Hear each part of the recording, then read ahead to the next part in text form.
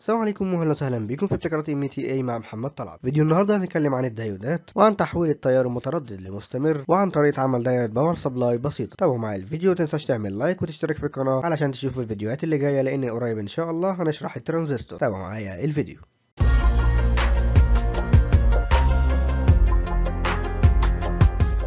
قبل ما نبدأ أنت ممكن تقلل سرعة الفيديو عن طريق الضغط على الترس واختار سرعة التشغيل واختار أقل من واحد. ده الديود بتاعنا وده الرمز بتاعه. طيب إيه هو الديود؟ هو عبارة عن أداة بتخلي التيار يمشي في اتجاه واحد يجي يرجع ما يعرفش يعني بيمشي في اتجاه السهم. طبعا ليه طرف أنود وطرف كاثود الطرف ده اللي هو هنا هو ده الطرف الأنود وناحية الشرطة الفضي هو الطرف ده أو الطرف الكاثود أو اللي بيسموه طرف سالب طيب كده عرفنا إن الديود العادي بيخلي التيار يمشي في اتجاه واحد وما يعرفش يرجع في الاتجاه التاني يمشي في اتجاه السهم فقط. فبالتالي مهما تزود الجهد عليه في الاتجاه المعاكس مش هيعدي لك التيار لحد ما تزوده بشكل كبير جدا مثلا توصله لأكتر من 1000 فولت فساعتها الديود هيتحرق ويا إما هيعدي لك التيار في شكل عكسي يا إما هيولع. ده شكل الديود العادي وده شكله على البوردة على طول اللي بنسميه SMD diode اللي بيتركب على البوردة من فوق بتكون دي الشرطة بتاعته اللي هي الشرطة دي يعني اتجاه التيار في الاتجاه ده. تاني نوع عندنا النهارده هو النوع ال Zener diode وده الرمز بتاعه. بيعمل نفس الوظيفة اللي بيعملها الديود العادي. ولكن زي ما قلنا إن الديود العادي لو طبقت عليه جهد عكسي مش هيعديه. لكن الزينر لو طبقت عليه جهد عكسي برضه مش هيعديه. ولكن لو عليت الفولت العكسي لحد درجة معينة بتكون مكتوبة على الزينر أو على حسب نوع الزينر مثلا وصلته لحد 12 فولت ساعتها هيبدأ يعدي لك التيار. ده معناه إن إحنا بنستخدمه بشكل عكسي دايما. زي ما قلت إن على سبيل المثال لو ده زينر 12 فولت وأنا هنا مطبق عليه 5 فولت فبالتالي مفيش تيار عكسي هيعدي. لكن لو قعدت أعلي هنا لحد ما اوصله ل 12 ساعتها التيار هيبدأ يعدي. وطبعا لو عليت عن 12 برضه التيار هيفضل يعدي. فبالتالي الزنر التيار فيه بيعدي عكس اتجاه السهم. طبعا إحنا ممكن نستخدمه كديود عادي ونخلي التيار يعدي في اتجاه السهم. بس أنت كده كأنك بتستخدمه كديود عادي.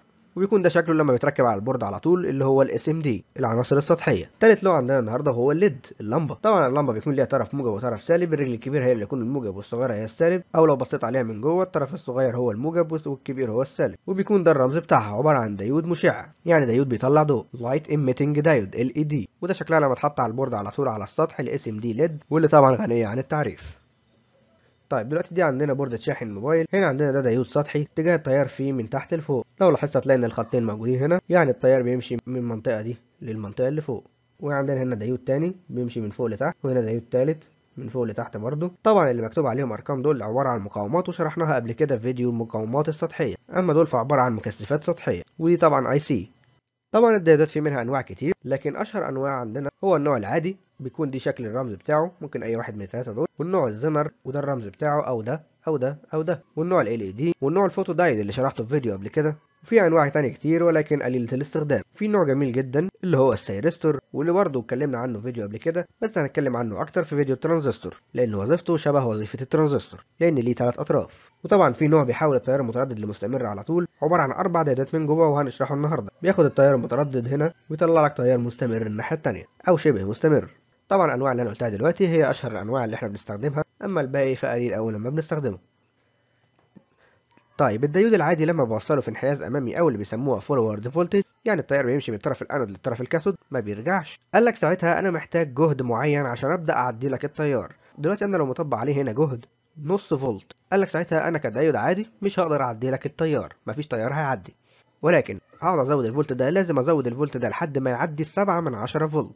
الديود قال لك إيه؟ قال لك كل ما هتزود الفولت عليا مفيش تيار هيعدي التيار هيفضل بزيرو لحد ما تقرب من السبعة من عشرة فولت. عند السبعة من عشرة فولت ساعتها هبدأ أعدي لك التيار وساعتها أنا كده هبقى في انحياز أمامي. طبعا لو عليت عن كده هيفضل عامل drop voltage حوالي سبعة من عشرة فولت. وساعتها التيار هيبدأ يعدي عادي أقل من سبعة من عشرة فولت مفيش تيار هيعدي. طبعا في الانحياز الخلفي لو طبقت جهد من الناحية دي أنا عايز أدخل تيار كده. قالك أنا مش هعدي لك أي تيار مهما تطبق في فولت مش هعدي لك تيار. لحد ما يوصل لفولت معين اسمه ال breakdown voltage أو فولت الانهيار. عند الفولت ده اللي هو بيكون غالبا مثلا 1000 فولت متطبق بشكل عكسي ساعتها عند الفولت ده حاجة من الاثنين يا إما التيار بيعدي وبيعدي بقيمة عالية لدرجة إن هو بيتحرق أو إن هو بيتحرق على طول وبيتحول إلى open circuit يعني بينفجر وبيتقطع نصين. يا إما بيتحول لسلكه فبالتالي بعض الديودات بتكون قدامك محروقة لكن شكلها من بره سليم. بتكون هي عبارة عن سلكة بتعدي التيار في الاتجاهين. ده معناه إن الديود بايظ. طبعا في ديودات تانية بتعمل drop voltage حوالي 3 من 10 فولت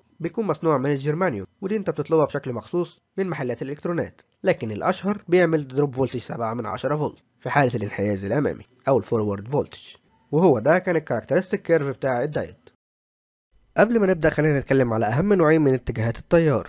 النوع الأولاني وهو التيار المستمر زي البطارية واللي بنلاقي اتجاه التيار فيه بيمشي من الطرف الموجب للطرف السالب عادي خالص وما بيرجعش. أما النوع التاني من التيار هو التيار المتردد زي الفيشة بتاعه الكهرباء وده التيار ساعتها بيروح ويجي كذا مرة على حسب قيمة الهرتز بتاعته. على سبيل المثال الفيشة بتاعه الكهرباء اللي عندك في البيت لو انت في مصر أو بعض الدول العربية بتكون 220 فولت من 50 ل 60 هرتز. ده معناه إن هو بيروح ويجي 50 مرة في الثانية وهو ده التيار المتردد. دلوقتي طبعا أنا مخليها لك نص هرتز بس عشان تكون واضحة قدامنا. لو خليناها 50 هرتز مش هتعرف تلاحظ الفرق. فاحنا هنخليها واحد هرتز مثلا هنلاحظ إن التيار بيروح ويجي مرة واحدة في الثانية لأن هو واحد هرتز. أما التيار المستمر بيمشي في اتجاه واحد. طيب لو شفنا الإشارة على اسلسكوب هنلاقي إن التيار المتردد بيمشي في الاتجاهين في الاتجاه الموجب والاتجاه السالب. لو خدنا إشارة تانية على ال oscilloscope من هنا هنلاقي إن الإشارة الزرقاء دي بتاعت التيار المستمر بتاعت البطارية هنلاقيها ثابتة دايما عند قيمة معينة.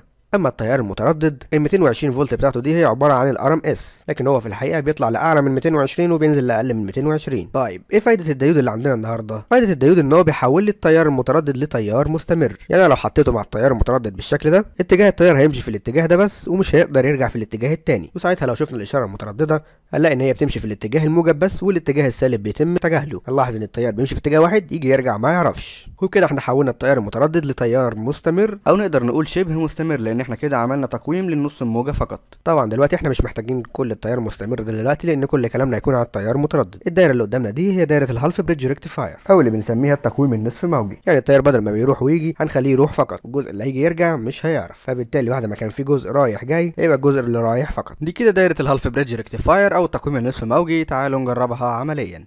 حطينا ديود ولمبة وشغلناها على فيشة الكهرباء على طول ولكن حطينا مقاومة 220 ألف أوم اللي هي 220 كيلو علشان اللمبة ما تتحرقش. كده فيشه الكهرباء هي 50 هرتز ولكن اللمبة بتنور ب 25 هرتز بس بسبب إن إحنا عملنا تقويم نصف موجي بديود واحد. والدايرة دي كنا نفذناها في فيديو قبل كده هتلاقيه في الوصف تحت الفيديو اسمه فيديو تشغيل LED على 220 فولت.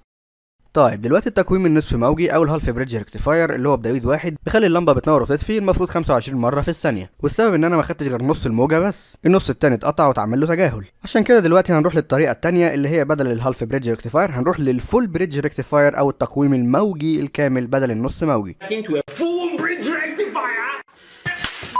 But with very small ripples because there is a bar on. طب نرجع لدايرتنا محتاجين نعوض الفراغ اللي في النص ده. بدل ما الكهرباء شغال مش شغال شغال مش شغال شغال مش شغال لا ما ينفعش الكلام ده. إحنا محتاجين نعوض الفرق اللي في النص. فدلوقتي هنعمل دايرة التقويم الموجي الكامل باستخدام أربع ديودات. أول حاجة إن إحنا بنحتاج أربع ديودات اللي بنسميهم بريدج واللي بنوصلهم بالشكل ده. اللي هو نفس الشكل ده عبارة عن إن إحنا هنحطهم في شكل مربع كلهم باصين من الشمال لليمين اتجاههم كلهم من الشمال لليمين وبنوصلهم على شكل مربع. تمام دلوقتي عندي أربع نقط. النقطة دي هلاقي إن الديود ده داخل عليها وبرضه الديود ده كمان داخل عليها. يبقى دي النقطة الموجب والنقطة دي هلاقي إن الديود دوت خارج منها والديود ده برضه خارج منها. يبقى ده الطرف السالب. النقطة دي هلاقي الديود ده داخل عليها والديود ده خارج منها. يعني الاتنين مختلفين. إذا النقطة دي نقطة اختلاف يعني نقطة تردد. وكذلك النقطة دي هنلاقي إن الديود ده داخل عليها وده خارج منها يبقى ده نقطة تردد. إذا دي توصيلة هتخلينا التيار المتردد يتحول لتيار مستمر. هنلاحظ إن اللمبة بترعش أقل هنلاحظ إن الموجة بدل ما كانت رايحة جاية هتبقى رايحة بس. دلوقتي بدل ما كانت الموجة عندي في الطرف الموجب والسالب دلوقتي بقت كلها في الموجب بس. ممكن بدل ما نوصل أربع ديودات بنجيب بريدج جاهز بيكون جواه الأربع ديودات وجاهز بالأطراف الأربعة بتوعه بحيث إن الطرفين اللي في النص مرسوم عليهم علامة موجة يعني دول الطرفين التيار المتردد والطرف اللي ناحية الجزء المقطوع بيكون الموجب والناحية التانية بيكون السالب. كده إحنا خلاص حولنا التيار المتردد لتيار شبه مستمر بس لسه اللمبة بترعش ودي مش من خصائص التيار المستمر. فبالتالي هنعالج الحوار ده إزاي؟ عن طريق ان إحنا هنحط مكثف. قلنا خلاص ده الطرف الموجب وده الطرف السالب. لما التيار هيجي يعلى هيشحن المكثف. هيجي يوطى يلاقي المكثف بيفرغ معاه فبالتالي مش هيوطى. وبالتالي التيار هيفضل ثابت. وبكده نبقى حولنا التيار المتردد لتيار مستمر وكمان عالجنا رعشة اللمبة وخلاص التيار بقى شبه ثابت.